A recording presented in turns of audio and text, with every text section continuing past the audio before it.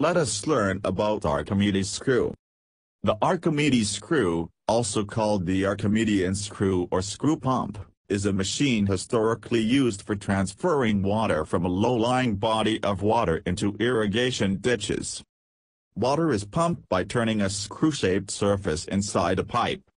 The Archimedes screw consists of a screw, a helical surface surrounding a central cylindrical shaft, inside a hollow pipe.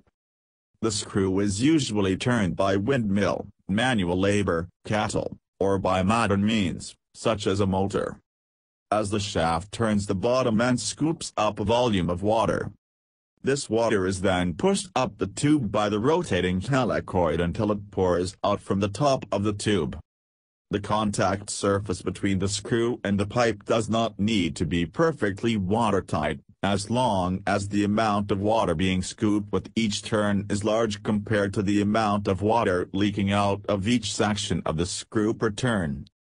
If water from one section leaks into the next lower one, it will be transferred upwards by the next segment of the screw.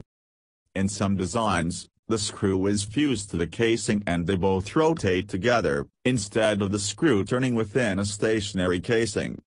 The screw could be sealed to the casing with pitch resin or other adhesive, or the screw and casing could be cast together as a single piece in bronze.